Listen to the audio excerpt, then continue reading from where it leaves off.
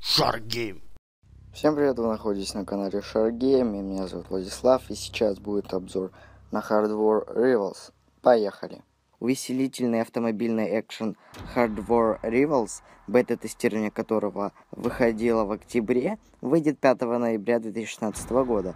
В релизной версии игры появится новая заснеженная карта Outpost 92, один новый танк и один новый автомобиль. Но это только начало. Hard War Rivals игрокам предстоит сражаться в автомобильных многопользовательских баталиях и настраивать автомобили по своему усмотрению, меняя не только их внешний вид, но и характеристики. Многопользовательский экшен для PlayStation 4, который предложит игрокам принять участие в динамичных боевых сражениях на аренах с использованием различной техники. Игра будет следовать традициям выпущенной для PS2 игры Hard War Online Arena. Разработчики обещают сохранить взрывной хаос и наклад онлайновых столкновений, обогатив геймплей новыми возможностями.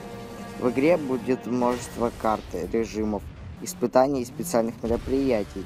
Различная техника будет иметь свои характеристики, апгрейды и стили геймплея, а игроки могут объединяться в группы или вести себя как лодкие одиночки. А на этом все. Пишите комментарии, на какую игру следующую мне сделать обзор. Все, всем спасибо, всем пока.